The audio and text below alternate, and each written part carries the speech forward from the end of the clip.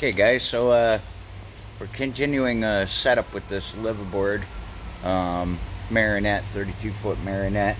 And let me show you what I got for solar equipment. I've been collecting this for a little while and uh, she's coming together.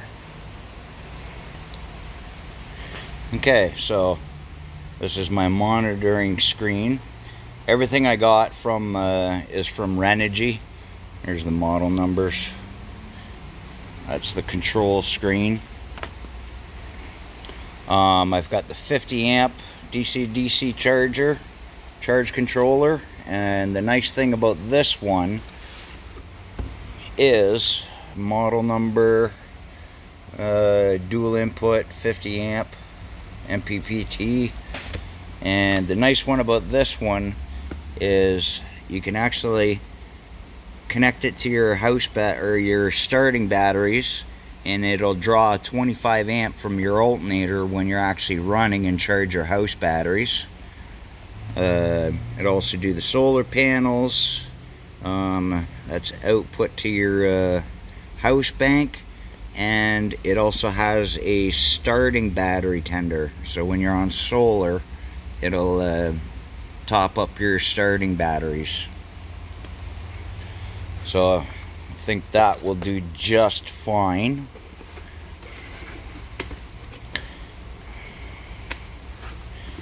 So that's that.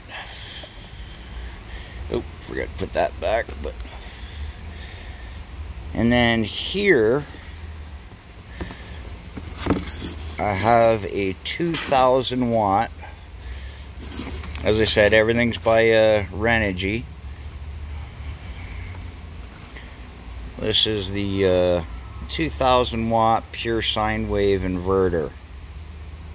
Now the reason I went with this particular one is because it has grid tie. So I'm pretty sure I'll be able to connect to the um, uh, the genset input on the inverter on the boat uh, to install this because it's got the connections on the side for uh, your grid tie. So that's that. Get this all back here. Um, this is the on-off switch for the inverter. It's out of the bag because I've already done this video and something failed. the joys of making YouTube videos. okay. So, let me show you what I got for uh, uh, solar equipment, or solar panels. So I'm just starting that because they just kind of went on sale. Um, so this is the 175 watt um, Renogy monocrystalline panels. Um, they were on sale for 206 bucks or something like that. Um, I still have to get two more and that'll be fine. It'll be, uh, you know, five, six hundred uh, uh, watts of uh, solar power. And then I'll eventually add maybe another panel down the road, but I have a ongoing cart on the Renogy website. I've just been ordering as money comes in. So that's that. Uh, what do we got here? so if you guys are wondering where I'm going to be mounting these panels, um, on the back of the boat, the rear bimini I'm going to be building solid aluminum across the top, uh, held up by stainless steel. Um, our scrapyard, uh, they do city buses, so the, the really heavy duty handrails, I'm going to cut them off to make the um, post to hold up the rear um, deck, let's say, above the uh, rear deck. And uh, so it'll hold three panels. I've done the measurements. It'll hold three panels up there. And uh, still have room to get up to the fly bridge through it through the hatch. So I'm gonna remove the rear bimini totally and go solid right across the top. Uh, just do it out of aluminum and stainless. But yeah, everything's slowly coming together. I'm gonna make this happen.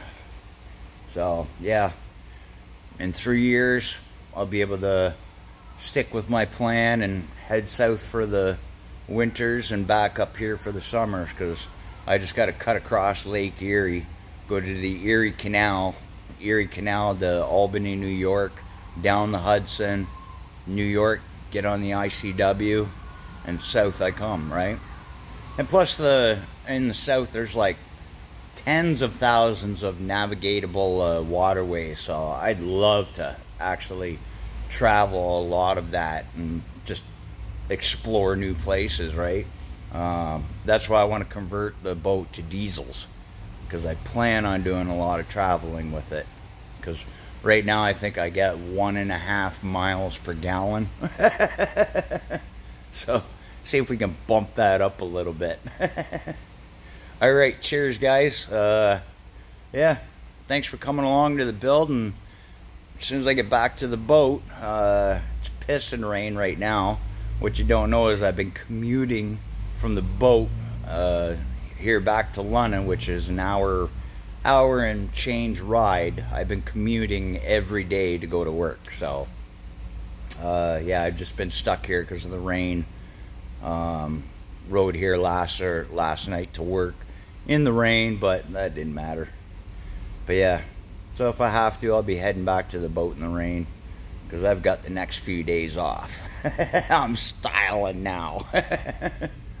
so yeah, so this is all gonna just stay in the shop until I get the the rear built, um, set up the solar panels, the charge controller, inverter, everything else I need. Um, yeah, it's slowly coming together, but it's been a lot to pay for, so slowly plodding away, getting piece by piece. All right, cheers, guys, and uh, yeah, welcome to the build.